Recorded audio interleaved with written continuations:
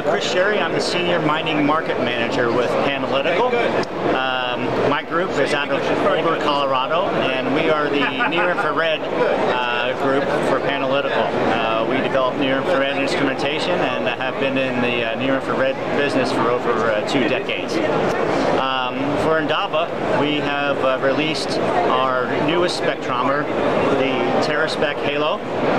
Um, and what we've done with the Halo is uh, we've put it, in, we've made the Halo into an all-in-one device with uh, uh, near-infrared spectroscopy, which measures light reflectance. So it's a, a great tool for uh, alteration mineralogy, particularly for the identification of clays. But this all-in-one device is uh, a lot smaller than other uh, spectrometers, our spectrometers or other spectrometers on the market. And it also does a, has a predictive tool in the back end of it, so your geologists can see right away what minerals they're detecting in the field. There's also some other uh, finer tune uh, indicators on here which will tell them more about the geochemistry of their environment, which will help them vector to their deposits faster and manage their exploration uh, projects uh, a lot more efficiently.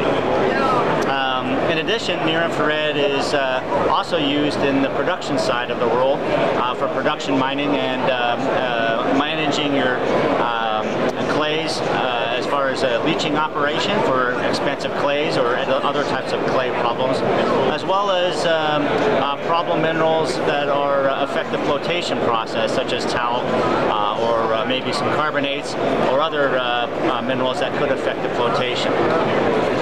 So our spectrometers are used worldwide in those two applications, both both in exploration and in production. And the TerraSpec Halo makes it a nice handheld tool and gives them that real-time real-time information. Where are you based out of? We are based out of Boulder, Colorado. Uh, Panalytical uh, has an office here in uh, uh in uh, South Africa in Johannesburg. Uh, our headquarters of Panalytical is Almelo, the Netherlands. And your website? Our website is uh, www.panalytical.com or www.asdi.com. Great. Well, thank you very much, Chris. And this is Zachary Millardo, reporting from Africa Trade Magazine, live from South Africa, Cape Town, Indaba 2014. Thank you.